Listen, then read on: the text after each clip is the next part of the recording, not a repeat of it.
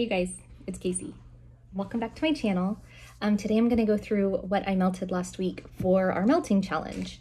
So um, our melting challenge last week was to melt things from one vendor. And I loved this. Um, you know, Drew is an absolute genius when he came up with his list of um, prompts and I'm so excited to like keep going. So um, last week was melt from one vendor. And so lots of people chose things from lots of different um, vendors. And I think I'm the only one who chose from this vendor, which is super cool. So I chose from Jim's Daughter Crafts. If you watched my melting basket, the reason I chose that one is because I wanted one that I wanted a vendor that I had enough of that I could melt the whole week. Um, and one that I needed to sort of make decisions about like, is this um, repurchase territory? Is this, um, you know, a vendor that I want to continue to buy from? Is this a vendor that performs well? Do I like the scent? That sort of thing. So um, this week really helped me decide that. I did not melt every single thing that I had available from Jim's daughter, um, but probably 80, 85%. So I have um, a little bit left um, but it's really helped me make some decisions. So let me show you what I melted. So I melted um, her first birthday, which was pink sugar and birthday cake. This um, actually just smelled kind of body care-esque, but it was very light. Um, I mixed it. I know that these don't sound good, but this was a um, birthday suit. I mean, it's birthday, right? That's kind of the same. And this is a blend of Skinny Dippin', which is a Scentsy type, and Bedtime Bath. And this one I liked much better. I would never have put these things together. I don't really like Skinny Dippin' from Scentsy, but this one smelled really nice. Um, the bedtime bath made it also body care, but in a way that was much stronger. Um, so I did like this one better. Um, I did um, this one, which was Tropical Island, a blend of Butt Naked and Sun Your Bums. Um, and I really liked this.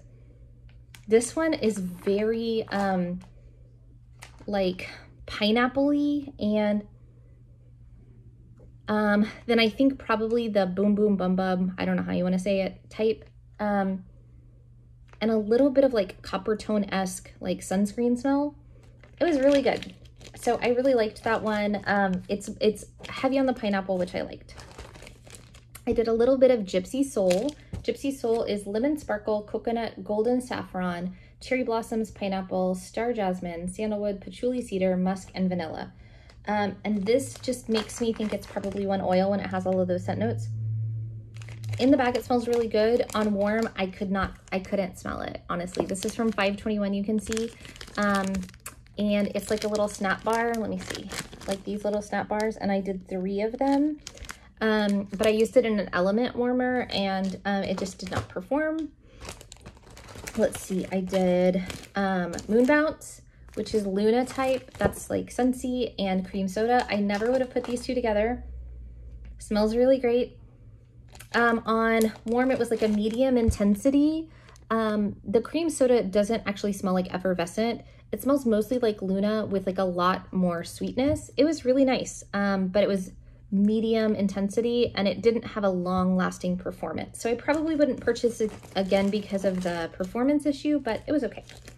Um, I did his first birthday, which is um, blend of blue sugar and birthday cake. And again, I just could not smell this very much. Um, even in the bag, it's very hard to smell. I do like blue, blue sugar and I do like birthday cake, but it just was not very strong. So um, I did Mermaid Cove and Mermaid Cove was coconut water, lemon zest, Valencia orange, pineapple, sea lily, lychee blossom, sugarcane, amber sand, and tiare flower. And this one was okay. It was kind of a large, like, if you can see the outline, like this. So pretty large chunk of wax. And I used it all. And I would say strength was maybe a 5 out of 10, maybe. maybe.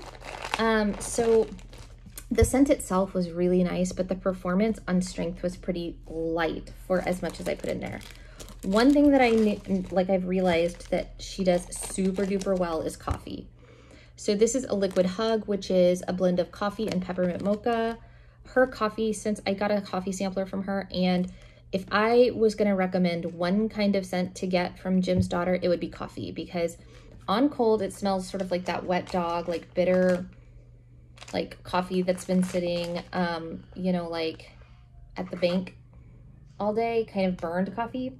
But on warm, so good. Like super strong, like roasty, toasty coffee. This one has the peppermint in it and I loved it. It was, it's super strong and I just did one little bean and I did that two different times and it was very strong. It took over like my whole downstairs when I was melting other stuff and I just melted one little piece in this room. Um, let's see, I did some samples um, while I was at work that weren't Jim's, so I'm trying to just like make sure those are out of here.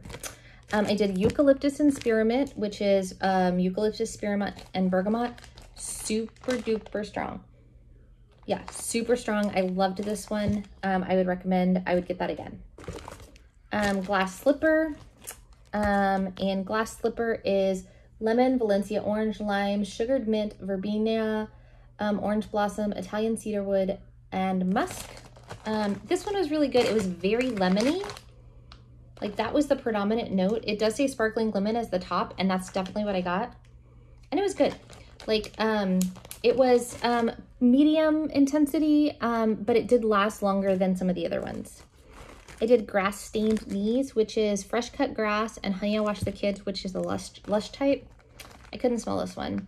Um, in the bag, it smells really good. The grass is like that sweet green grass, um, kind of dewy grass, not the like um, not that like really earthy grass, but more of like that sweetened grass. And then Honey I Washed the Kids is kind of soapy. Um, in the bag, it smells really good. It did not perform for me.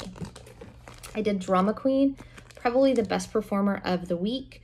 Uh, pink sugar and peppermint. So it doesn't sound, I mean, it sounds like, you know, every other pepperminty blend, but I have to tell you that the peppermint is super strong in here. It is not Rose Girls peppermint, but it is equally nose clearing. It is very strong and very nice. That was a really good one. Um, I did lemon laundry. I love anything lemon and laundry. This is lemon drop candy and Gain type. This one smelled really good. Medium plus intensity, um, good performance. I would repurchase that one. I like this one a lot, Boogie Fever, which is camphor, eucalyptus, and mint. It is very Vicks very Vicks, but I really liked it. Um, it was a good performer, probably the longest lasting scent here. Um, whereas the uh, this one, the Drama Queen, the peppermint and um, pink sugar was the strongest scent. This was probably second strongest and um, lasted the longest. So I really did like that one. Um, I did um, In the Stars type um, which is starflower, sandalwood, musk, sugar, tangelo, white agarwood, and amber. And I believe this is a Bath & Body Works type. It smells really good. Um, it is more powdery than I like. Sandalwood to me reads that way and musk reads that way. And so sandalwood musk, like, I should have known, right? So the scent appeal for me was not that great, but I have to say that this one lasted a really long time too. I was impressed with that um, performance-wise for me, it's not a repurchase only because of the scent appeal, but um, the, the throw was good. And then I did two of these, which is Circus Concessions, Cotton Candy, Caramelized Apples, and Hints of Funnel Cake. These were really good. Um, I don't have like a long history of buying everybody's um, Circus Concessions. I think you know who does. One of my friends. Um, but this one is good. I don't have it. I don't have a lot of others to compare it to. So if this is what the others smell like, I get the hype. Like it's caramely and appley and sweet. It's really nice. Um, I would say medium plus, um, good long lasting, I would repurchase. I did um, ocean, sun, ocean, sun, and sand. And um, this was good. Um, it, I don't, I'm trying to think of what, like it's mostly like to me, cocoa butter cashmere and like a little bit of a citrus note and like salty sea air. It's, re it's really good. Um, for scent appeal, I really like that. It wasn't a super long lasting performer, but I could smell it when it was there. Um, this is Jess's candy cookies, which is a blend of lavender, cotton candy, buttermint, and sugar cookie. And in the bag, it smells really nice. I could not smell this at all on warm. Again, I did it in an element warmer and I did three little ones of these chunks. I love the look of them though. They're really pretty, but I just could not smell it. Um, so when I do, when I do these again, like all three of these kind, I'm to put them in a different warmer.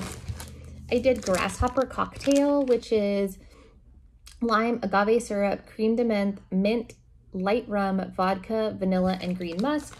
This is not boozy at all. It is, um, it is really pretty nice. Like it is, like it has that cream de menthe, which I smell the most, but it's like um, a little bit chocolatey and like a little bit minty and pretty sweet. Um, no boozy note, pretty good performer.